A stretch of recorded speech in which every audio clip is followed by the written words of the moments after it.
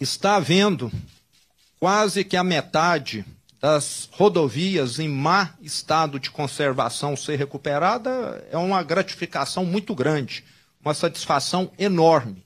É um passo muito importante, porque esse repre representa um ponto de inflexão. Em vez de estarmos com as rodovias só piorando, elas começam a melhorar agora. Mas, como o secretário falou muito bem, é algo que nós ainda teremos de investir durante aí quatro, cinco, seis anos. O meu sonho, como um mineiro que viajou muito, que muitas vezes cruzava a fronteira com São Paulo, é que um dia nós venhamos a ter estradas que também nos dê orgulho. Porque todas as vezes que eu cruzava a fronteira, principalmente no Rio Grande, eu sentia vergonha de ser mineiro saía de uma estrada mal sinalizada, esburacada, sem acostamento, e entrava numa outra que era totalmente diferente. E na volta, o contrário.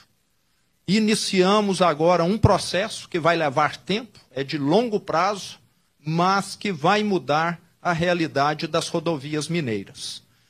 Quando nós deixamos de investir, isso significa menos segurança na estrada, mais acidentes, vidas perdidas.